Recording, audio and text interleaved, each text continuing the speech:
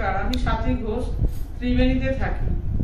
শ্রীমতীর দরবার আয়োজিত মাসিক সেরা শ্রীমতী প্রতিযোগিতায় আমি একজন প্রতিযোগিনী শ্রীমতীর দরবার আয়োজিত মাসিক সেরা শ্রীমতী প্রতিযোগিতায় অংশগ্রহণ করতে পেরে আমার ভীষণ ভালো লাগছে। এই মাসের বিষয় যেহেতু পনির, সেহেতু আমি আপনাদের সামনে রসালো ম্যাঙ্গো পনির রেসিপিটি করে দেখাচ্ছি। আশা করি আপনাদের ভালো লাগবে। যদি আপনাদের ভালো লেগে থাকে প্লিজ লাইক শেয়ার কমেন্টস করতে ভুলবেন না যেন। আর শ্রীমতির দরবার চ্যানেলটিকে সাবস্ক্রাইব করতেও ভুলবেন না।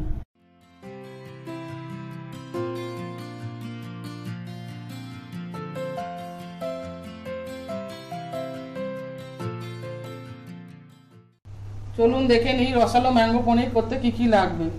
এখানে আমি পাঁচশো গ্রাম পনির নিয়েছি। টুকরো করে কেটে গরম জলে নুন দিয়ে, সামান্য নুন দিয়ে ভিজিয়ে রেখেছি। এটা আছে দুটো আমের পাল। এটা নারকলের দুধ। এখানে দু চামচ তিল, ছটা এলাচ, দশটা কাজু, দশটা আমন একসঙ্গে মিশিয়ে বেটে রেখেছি। এটা আছে এটা ড্রাই করা মশলা। এটার মধ্যে নিয়েছি দু চামচ, এই চামচে দু চামচ জিরে, দু চামচ ধনে, হাফ হাফ হচ্ছে আপনার জায়ফল আর জৈত্রী হাফ। ফুলটা হাফ নিয়েছি। আর আপনার এতে দিয়েছি গোটা গরম মশলা। দু চামচ মতো।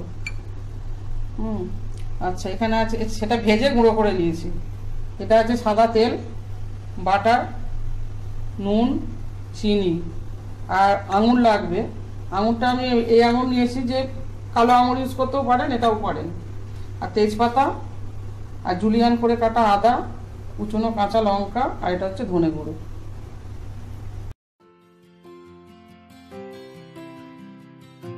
চলুন এবার আমরা রান্নাটা শুরু করি। আমি গ্যাসটা জেলে দিলাম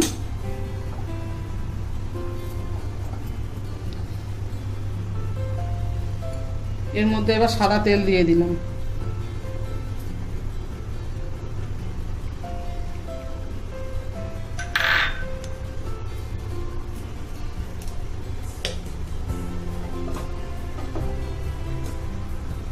তেলটা একটু হলে এর মধ্যে আমি তেজপাতা ফোড়নে দিলাম।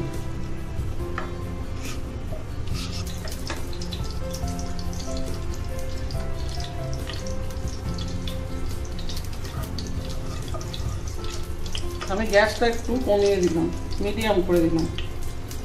দিয়ে এর মধ্যে আঙুরগুলো দিয়ে দিলাম।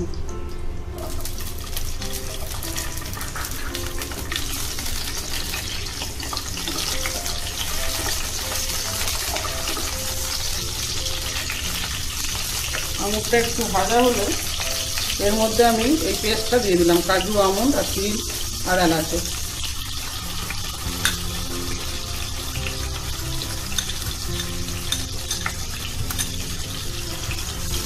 ভালো করে মিশিয়ে নিতে হবে।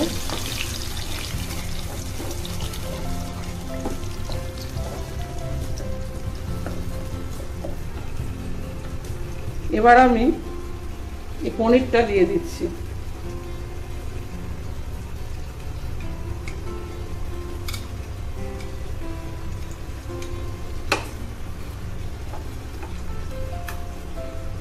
জলও দিতে হবে। আমি পনিরের এই জলটাই ইউজ করব।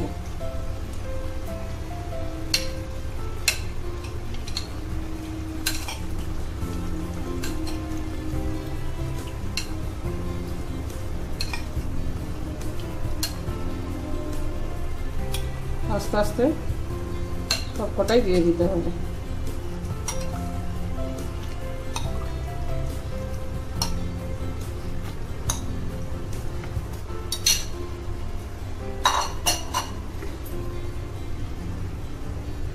হালকা হাতে নাড়তে হবে, তা নাহলে পনিরগুলো ভেঙে যেতে পারে। আমি গ্যাসটাকে এবার একটু বাড়িয়ে দিলাম।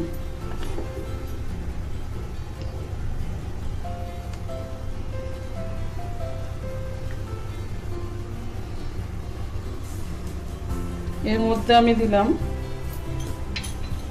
এই যে কাঁচা লঙ্কা কুচি করে রেখেছি, এটা ঝালটা যে যার নিজের মতন দেবেন।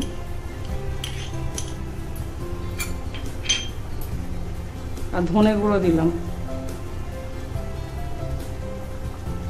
টিস্পুনের যেহেতু এক টিস্পুন, সেহেতু এটা পুরোটাই।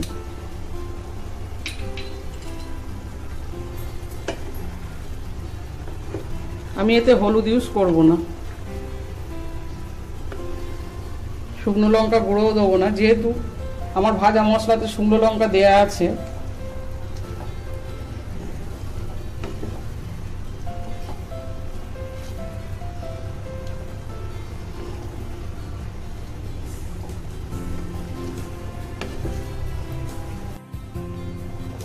এবার এটাতে আমি পরিমাণ মতো নুন আর মিষ্টি দেবো। নুন যেহেতু আমি একটু পনিরে দিয়ে রেখেছিলাম, সেহেতু বুঝে দিতে হবে।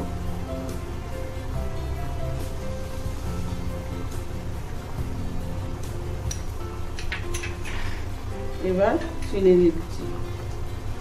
মিষ্টিটাও যে যার মতন, স্বাদ মতন দেবেন।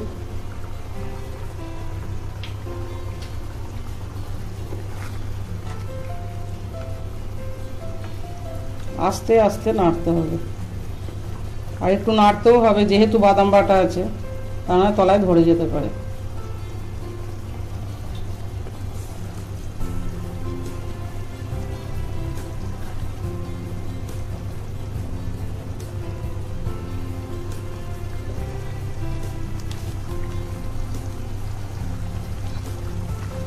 এবার আমি এর মধ্যে এই যে নারকলের দুধটা আছে একবারটি, এটা মিশিয়ে দেবো। এটা একটু মিষ্টি মিষ্টি ঝাল ঝাল খেতে হবে।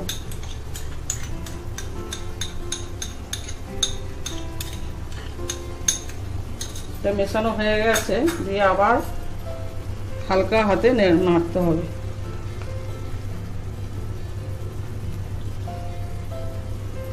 গ্যাসটা আবার আমি একটু মিডিয়াম করে দিলাম।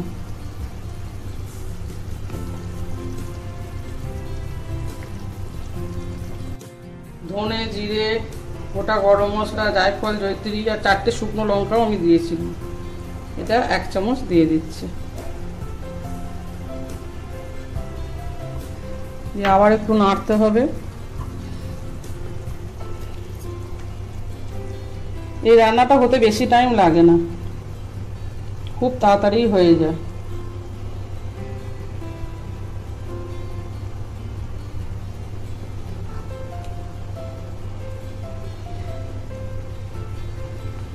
আমের এই যে পাল্পটা আছে এটা মিশিয়ে দিচ্ছি।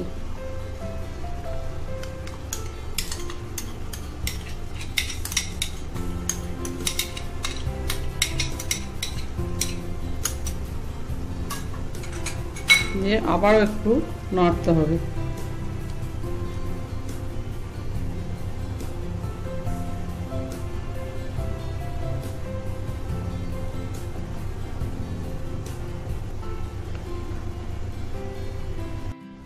এবার আমি এতে এতে দেড় চামচ মতন বাটার আছে, এটা মিশিয়ে দেবো।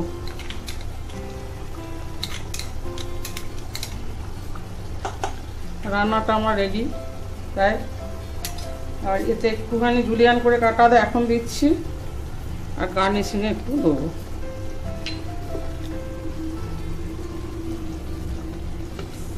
গ্রেভিটা এবার আপনারা যে যার ইচ্ছে মতন রাখতে পারেন।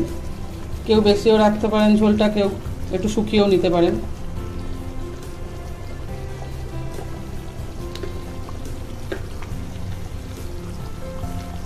আমার রান্নাটা রেডি আমি এটাকে এবার ঢাকা দিয়ে দিলাম। গ্যাসটা অফ করে দিলাম। ঢাকাটা খুলে আমি এটা এবার সার্ভ করে দিচ্ছি।